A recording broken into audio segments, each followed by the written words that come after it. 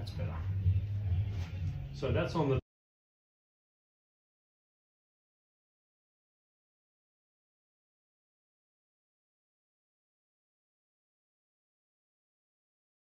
talus. That's on the calcaneum, and I'm going to drop my elbow like that without giving up at the wrist. So I've got a block here. I have to work harder.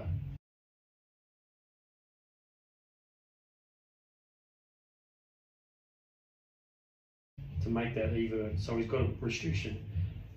He's actually got an inversion block too. So because it's both directions, just I'll do traction. And he's got a bit of a blister here, so I'm just careful of that point.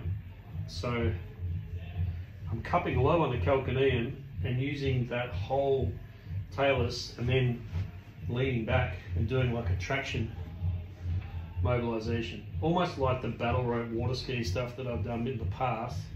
Just that I don't, I can't quite grab that heel. So I'm, I'm cupping like this rather than from up under there.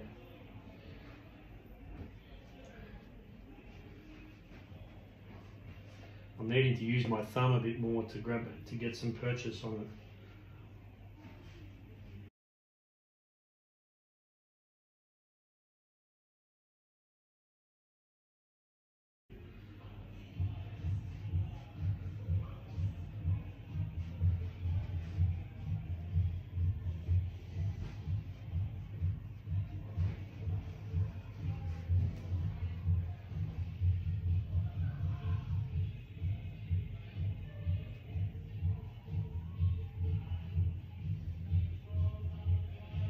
Going to try a different variation.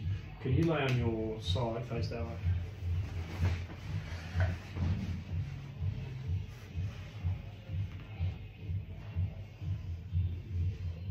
So the right, right hand is cupped under his lateral malleolus, just staying away from that blister. And then direct medial to lateral glide of the subtalar joint. So this is a direct mobilization rather than indirect.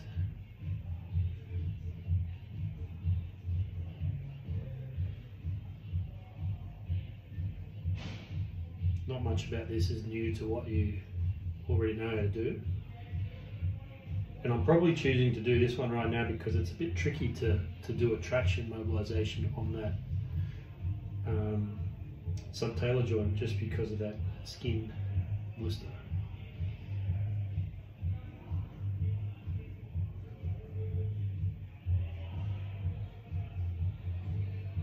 30 seconds or so, lay on your back again.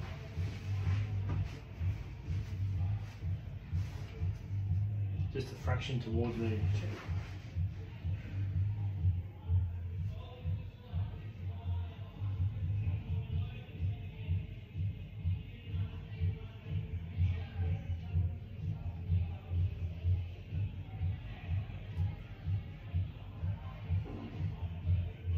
So he's got some subtalar motion now. So I'll just recheck the navicular, you know, uh, talar navicular.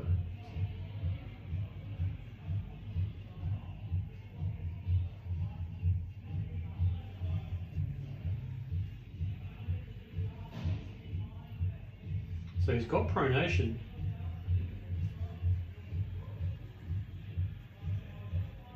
pretty stiff. Okay, I'm going to try direct mobilization into supination of the navicular.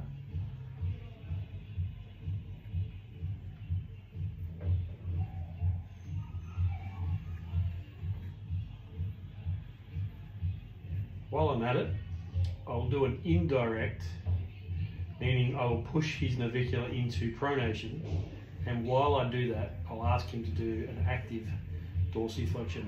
So I'll do that now. Jack, when I say go, I'm going to ask you to pull your foot like that. Yep. Okay? When I say go. So here's, here's me doing pronation of the navicular. All right, Jack, pull and repeat and repeat. Bit of clicking going on. That's usually a good sign of movement happening. Okay, stop.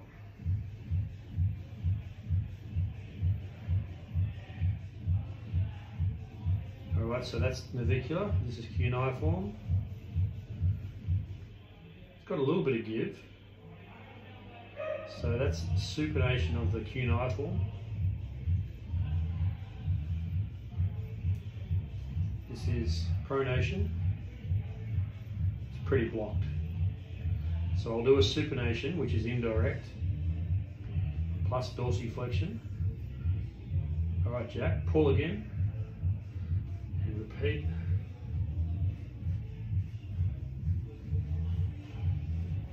I'll do about eight to 10 and stop. I'll come back to you with his range.